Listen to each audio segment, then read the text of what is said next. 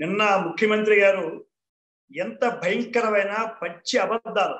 నిన్న వనమహోత్సవానికి వెళ్ళి ఒక ముఖ్యమంత్రి స్థాయి దిగజార్చి అబ్బా కొడుకు అనే విధంగా మాట్లాడడం పేదలకు ఏదో ఇళ్ళ స్థలాలు ఇస్తూ ఉంటే మేదో అడ్డుకున్నామని అసలు ఈ దేశంలో ఇళ్ళ స్థలాలు ఇచ్చే కార్యక్రమం ఇంతకుముందు ఎప్పుడు లేనట్టు ఏదో కొత్తగా ఆలోచించి చేసినట్టు మరి గొప్పలు చెప్పుకుంటున్న ఈ ముఖ్యమంత్రి గారిని జగన్మోహన్ రెడ్డి గారిని నేను సూటిగా చెప్తూ అడుగుతున్నాను. మీ పత్రికా ముఖంగా మీరు దీని మీద సమాధానం ఇవ్వాలని నేను ప్రశ్నిస్తున్నాను. అసలు ముఖ్యమంత్రి గారు అసలు ఈ రాష్ట్రంలో ఉన్న చట్టాలు మీకు తెలుసా? అసైన్మెంట్ చట్టం మీకు తెలుసా?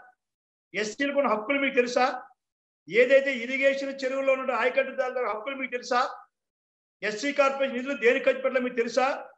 నువ్వు చట్ట విరుద్ధంగా ఒక ఇండ్ల స్థలాల పేరున దోపిడీ చేసిన విషయం వాస్తవం కాదా?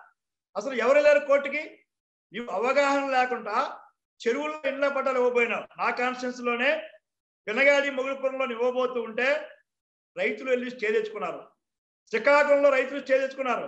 రాష్ట్రంలో ఎవరైతే చెరువుల కింద ఆయకట్టు ఉన్నాయో వాళ్ళు చెరువుల్ని మార్చకూడదు వాటర్ బాడీని డిస్టర్బ్ చేయకూడదు సుప్రీంకోర్టు తీర్పు వ్యతిరేకంగా నువ్వు చెరువులో పట్టాలు ఇస్తే న్యాయస్థానానికి ముట్టిగా వేయకుండా ఉంటాయా? జగన్మోహన్ రెడ్డి గారు నీకు అవగాహన ఉందా? రెండు ఎస్సీ సంక్షేమం కోసం ఇచ్చిన నిధులు. నువ్వు ఇళ్ళ ఇళ్ళ ఇళ్ళ పట్టాల పేరిట ఆ అమౌంట్ను డైవర్ట్ చేసి ల్యాండ్ ఎక్వేషన్లో దోపిడీ చేసిన విషయం వాస్తవం కాదా? నువ్వే మీ రాజమండ్రి ఎంపీని కొట్టావని ఒక సోషల్ మీడియా వస్తూ ఉందే. మీ రాజమండ్రి ఎంపీ ఎంత దోచుకున్నాడు? ల్యాండ్ ఎక్వేషన్లో ఎంత అవకతవకలు జరిగాయి? అంటే ల్యాండ్ ఎక్వేషన్ అవకతవకలు జరిగితే పదహారు వందల కోట్లు మింగేస్తే మీ మీరు మీ కాయగల పంచుకుంటే మీరు కళ్ళు మూసుకొని కూర్చోవాలి జగన్మోహన్ రెడ్డి గారు?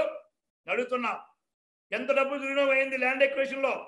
ఓకే ల్యాండ్ ఎక్వేషన్ అక్కడ తాగావా?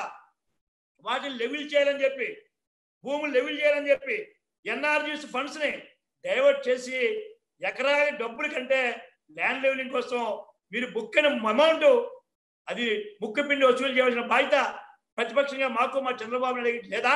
నువ్వు చెప్తున్నావే గొప్పగా. ముప్పై లక్షల మందికి మేము ఇళ్ళ పట్టాలు ఇస్తున్నావు అసలు ఏ ఏ సైంటిఫిక్ మెథడ్లో చెప్తున్నావు ఈ ముప్పై లక్షలు? నువ్వు ఏ ఊరైనా రా. నువ్వు చేసిన ముప్పై లక్షల్లో మొన్న చెప్పాను వా- పది రోజుల కిందట నేను పత్రికాముఖంగా చెప్పాను. నేను ఛాలెంజ్ చేశాను. నేను రాజకీయానికి సన్యాసం పుచ్చుకుంటానని చెప్పాను. నీకు ధైర్యం ఉంటే ఏదైనా ఒక ఊర్లో మీరు ఇచ్చిపెట్టి రండి.